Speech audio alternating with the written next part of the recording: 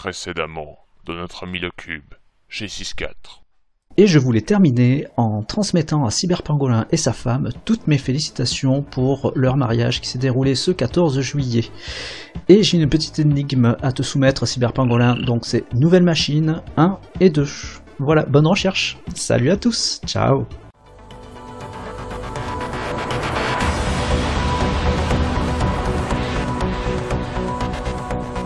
Et salut à tous, on se retrouve sur notre ami le cube avec une mission confiée par 6.4. Euh, on va donc aller voir un petit peu comment ça se passe. Donc euh, je vous rappelle que 6.4 m'a dit, euh, enfin, je vous avais annoncé que je me mariais, 6.4 m'a souhaité tous ses vœux sur son dernier épisode, et il m'a demandé d'aller regarder une histoire de nouvelle machine. donc c'est peut-être chez lui, je ne sais pas, je ne sais même pas si c'est ouvert, je pense que si c'est pas ouvert c'est que ce sera pas chez lui, logiquement. Ah, donc c'est des portes classiques maintenant. Peut-être. Je vous avoue, je ne sais pas où aller. Hein. Euh, c'est pas là. Mais sinon, ça pourrait être au labo aussi. En fait, j'aurais pu regarder par là au début pour commencer. Alors, est-ce que c'est quelque chose ici? Uh, Furnace Grinder. C'est quoi ça? Power Monitor, c'est nouveau ça. Ok, euh, visiblement... Maintenant, on a un Power Monitor, c'est un nouvel appareil. Mais non, je peux rien faire avec, donc ça va pas être ça. Son système de contrôle, mais il y a... Je pense pas que ça doit être ça, parce que 1 puis 2, c'est quand même vachement particulier. Nouvelle machine, 1 et 2. Si je fais quelque chose ici... Ok, visiblement... Non, il se passe rien, donc... Euh, là-dedans... Non, il y a des trucs, mais je pense pas que c'est pour moi tout ça. Hein. A priori, ça appartient à 6.4. Euh, je pense que j'aurais vu un petit truc spécial particulier. Voyons voir au labo.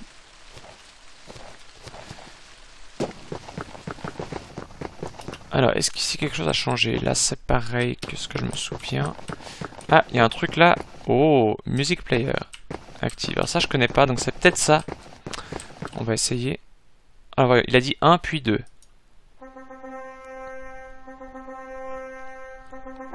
Oh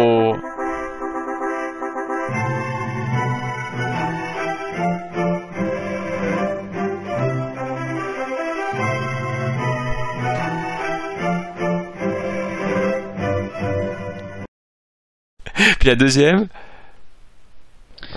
Mon cher cyberpangolin, ainsi que ta femme, sachez qu'en vous mariant, en ce jour du 14 juillet, fête nationale française, je vous souhaite, et j'en suis certain, avec l'appui de tous mes abonnés, vous souhaitons tous, pour votre vie future, du bonheur bien sûr, plusieurs enfants, de beaux voyages et beaucoup d'amour. Depuis que je connais le marié, j'espère sincèrement ne pas contrarier la mariée que malheureusement je ne connais pas encore. Ne t'inquiète pas, madame la mariée. Même si ton mari aime passer du temps de temps en temps avec moi, lors de nos aventures extraordinaires, au travers de combats et d'aventures épiques, et que même des fois on se fait des bisous virtuels, je te garantis qu'il t'aime plus que tout au monde. J'en suis convaincu.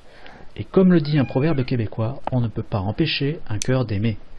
Même si je regrette de n'avoir pu être présent, de tout mon cœur, je vous souhaite tous mes voeux de bonheur. C'était 6-4. Mon cher cyberpangolin, ainsi que ta femme, sachez qu'en vous mariant, D'accord, le 14 juillet. Eh ben, c'est trop chouette. Ah, j'adore. Merci 6-4. Ouh, alors faut que j'ai fait écouter ça à ma femme, hein, du coup. Autrement dit, euh, je, peux le faire comme, euh, comme Colombo. Eh, il faudra que je le dise à ma femme. ah, c'est trop cool, merci. Euh, je, pensais, je pensais à beaucoup de choses, mais pas à ça. ah là là. Bon, allez. On va quand même passer à l'épisode. Hein. On se retrouve après cette petite intro assez marrante euh, et très touchante aussi de, notre ami 4 qui donc euh, a fait euh, Mumuse avec le jukebox pour pour diffuser sa propre voix, n'est-ce pas? Euh, Et oui, puisque maintenant je suis un homme marié, voilà, je suis vieux. oh, ça va, hein. jusque-là, c'est pas, pas trop terrible, hein. ne vous inquiétez pas, tout le monde se porte à merveille. Euh, nous survivons bien, n'est-ce pas? Et aujourd'hui, on va faire euh, des trucs, mais on a parlé de timelapse, n'est-ce pas? Alors du coup, bah, sans plus tarder, c'est parti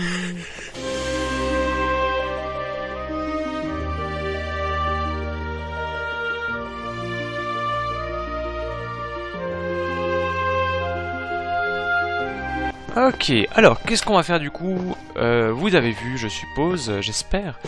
Nous allons faire un petit bâtiment qui va donc prolonger celui que nous avons ici. Euh, mais on va changer un petit peu de style. Parce que je vous ai dit que la mairie, je voulais la prolonger un peu. Et je me dis en fait, ça peut être sympa de se dire que historiquement, la mairie n'a pas été construite en même temps que cette salle supplémentaire qui est venue après coup. Ce qui explique donc une différence dans le style de construction que nous allons voir tout de suite.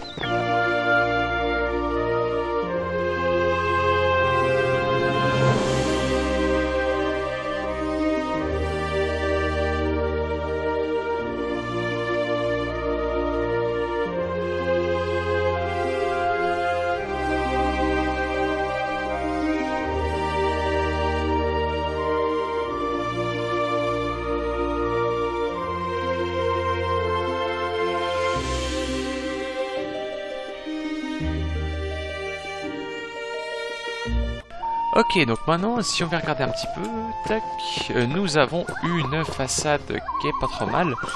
Euh, vous voyez que j'ai repris un peu le même genre de bloc que ce qu'on avait à côté. Euh, mais je me suis dit, tiens, je vais faire la liaison avec ces blocs là en bas. Ça donne assez bien. Puis là, j'ai même réussi à le ligner dessus, c'est un peu, cool comme ça. Ici, par contre, c'est pas aligné, mais c'est, pas très grave. Vous voyez, c'est la touche de partiellement symétrique. euh, voilà, et puis du coup maintenant, on va euh, s'attaquer au plancher ici, qui permettra d'avoir à la fois euh, une grande entrée là, et bien sûr une petite cave dessous. On verra à quoi elle va servir, mais enfin, ça nous fera déjà quelque chose. C'est parti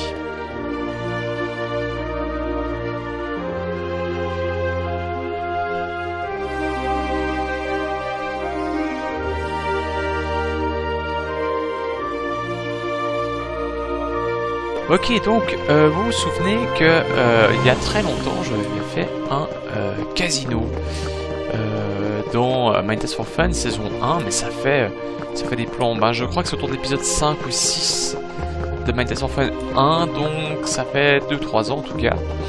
Et puis je me dis en fait, à la réflexion, ce truc est juste parfait pour mettre un casino. Pourquoi? Déjà parce que c'est un bâtiment qui a quand même qui aura une certaine classe. hein. Quand on voit la taille du truc et tout, ça donne plutôt bien. Et ensuite, euh, l'autre gros truc assez génial, c'est que euh, pour le casino, il nous avait fallu avoir un... On avait besoin d'une salle des machines.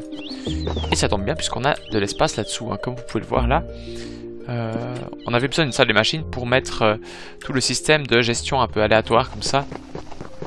Pour que euh, quand on met un sou, soit on gagne des sous, soit on perd le sou qui a été posé. Et puis bien sûr, à l'arrivée, qui c'est qui gagne? Euh, C'est toujours le casino, puisqu'il y avait aussi un petit pourcentage de chance que euh, les sous me reviennent directement. Et du coup, je me dis, mais ça peut être super chouette de faire ça. Du coup, on va pas faire plus que ça pour l'instant. Niveau construction pure, pourquoi? Parce qu'il va falloir faire le système de gestion du, casino. Un système qui doit bien sûr être aussi camouflé que possible, n'est-ce pas? Euh, que la machine à sous fonctionne, euh, mais sans qu'elle pose de soucis. Donc, euh, ce qu'on va faire, c'est que je vais construire tout ça. Et on se retrouve juste après. Ok, alors j'ai pu poser la machine. Vous voyez, comme ça, ça a l'air super compact. Et vu de dessous, en fait, c'est un petit peu... euh, Ça prend un peu de volume, on va dire. Euh, mais finalement, ça marche exactement comme celle qu'on a fait il y a quelques années. Donc je vais pas rentrer dans les, détails. C'est juste qu'on fait parcourir euh, aux objets un chemin complètement aléatoire. Enfin, qui devient aléatoire à force de faire des croisements dans tous les sens. Et ensuite, soit ça rejoint un petit coffre là pour des bénéfices, soit c'est catapulté ici dans le...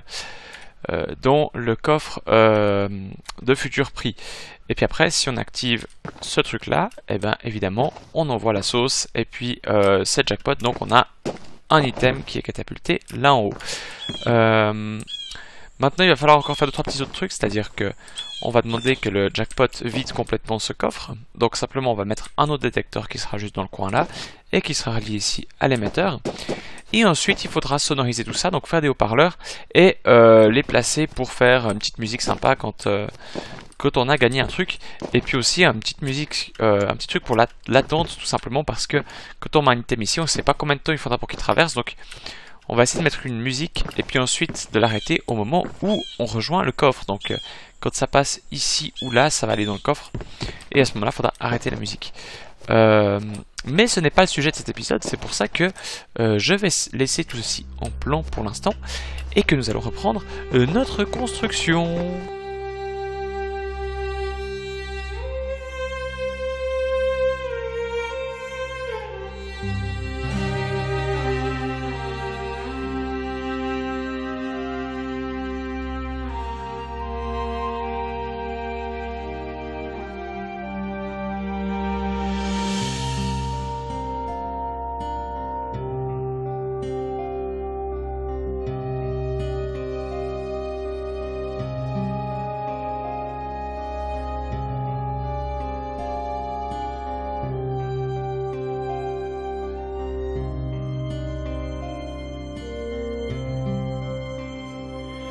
Ok, alors maintenant qu'on a fait toute la structure, il va falloir euh, rajouter bien sûr le toit et les vitres.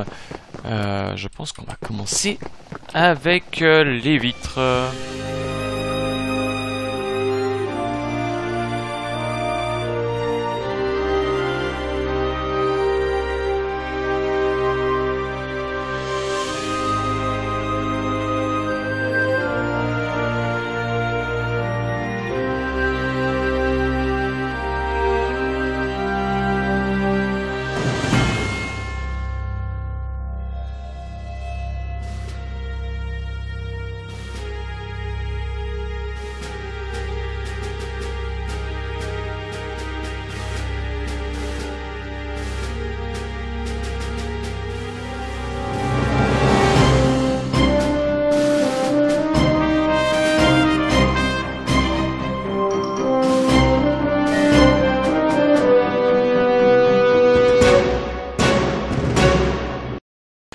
Ok, alors la toiture est gentiment faite. Euh, Il y a encore quelques détails à régler, notamment euh, sur les extrémités, là au bout, hein, vous voyez que c'est encore ouvert. De l'autre côté aussi d'ailleurs. Mais enfin, c'est déjà un bon début. Et euh, du coup, ce qu'on va faire, c'est qu'on va s'arrêter là pour cet épisode, où j'ai essayé de privilégier un peu plus la qualité et un peu moins la quantité. J'espère que ça vous aura plu. Euh, comme d'hab, si ça vous a plu, n'hésitez pas le petit pouce en haut, tralala, poète poète. Si ça vous a pas plu, le petit pouce en bas, bien évidemment. Et on se retrouve très bientôt. Euh, je vous rappelle que je fais un live dans pas très longtemps normalement, où euh, je viens de le faire. Je ne sais pas, je ne sais pas quand j'arriverai à publier cet épisode, mais vu que il reste euh, à peu à peu près 1h50 au moment où je vous parle avant l'épisode, euh, puisqu'il est midi 10, eh bien, avant le live, je veux dire, je pense que j'arriverai à vous le publier pour une heure. Ce qui veut dire aussi que vous aurez juste le temps de voir cet épisode avant le live. Voilà À bientôt Ciao tout le monde